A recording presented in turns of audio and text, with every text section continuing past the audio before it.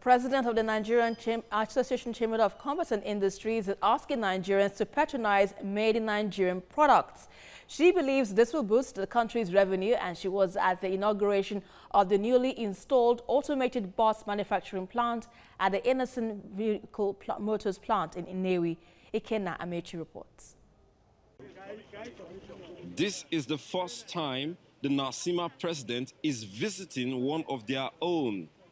Innoson Vehicles Manufacturing Plant in the Nnewi, Anambra State has become the toast of Nigeria, now courting those who matter around the world. Mrs. Saratu Aliyu is here to inaugurate the automated bus manufacturing plant for this company.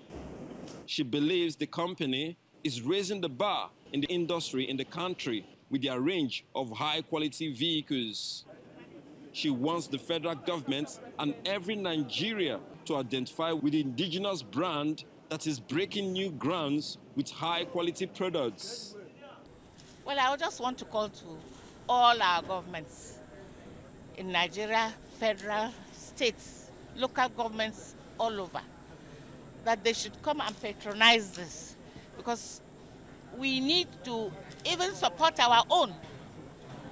We need to support our own. We should create an enabling environment for him to thrive, for him to grow, and for other people to also emulate him and open more for our children to get jobs, and for us to have ease of movement on our road.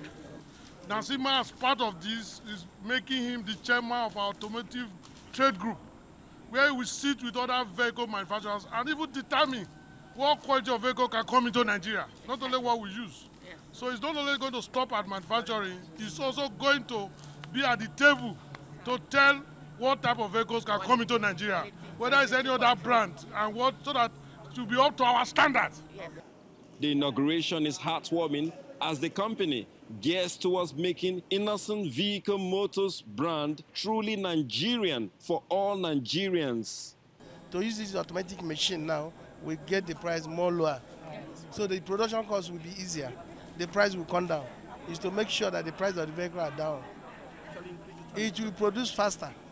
Well, the, according to the setup, uh, if the order is uh, many, you can produce, uh, this car can be able to produce about, about um, 15 vehicles a day. The IVM revolution in the automobile industry is a testament to the country's technological growth and the company says